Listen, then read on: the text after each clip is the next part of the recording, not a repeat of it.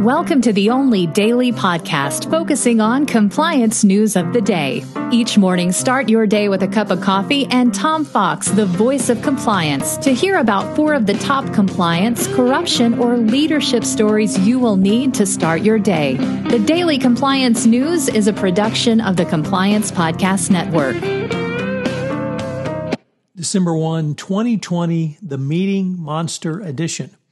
First up from the Financial Times, Andrew Hill on his always great on management column, talking about making the most of the right to choose where to work.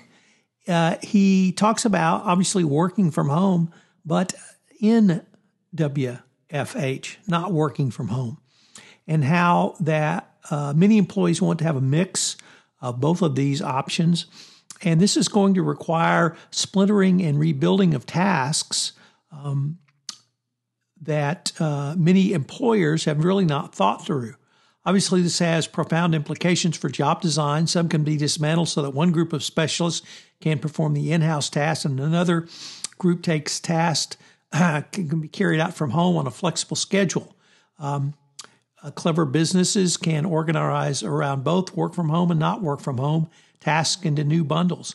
But that's going to take some work from management. However, uh, if this is what employees want, uh, you would think that there would be some companies who would be uh, somewhat sensitive to that.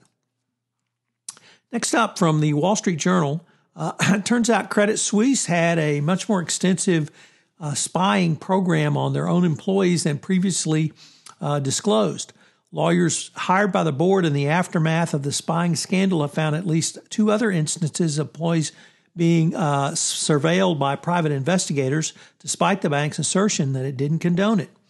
The ad- additional incidents involved employees being followed um, and otherwise surveilled. The uh, scandal first broke in September 2019 uh, when a uh, bank's executive uh, spotted uh, surveillance on him.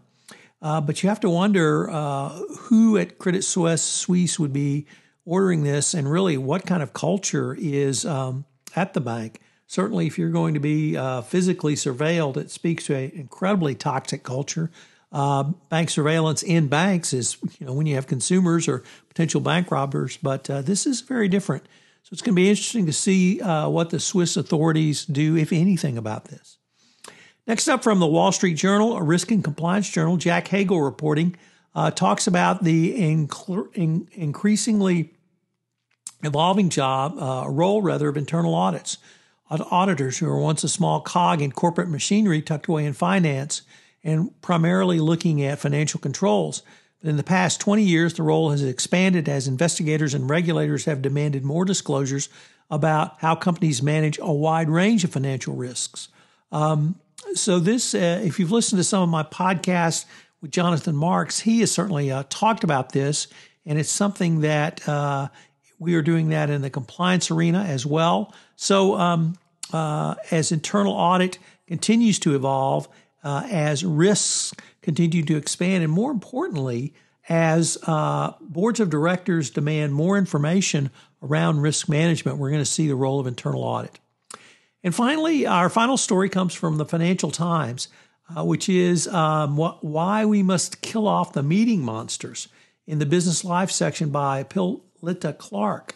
Um, and she talks about just the disaster of meetings, who uh, disasters of meetings where uh, employees' uh, behavior just destroys the meeting. They come unprepared and they make remarks and they talk about themselves, and that this really destroys productivity and it even uh, can uh, denigrate toxic culture.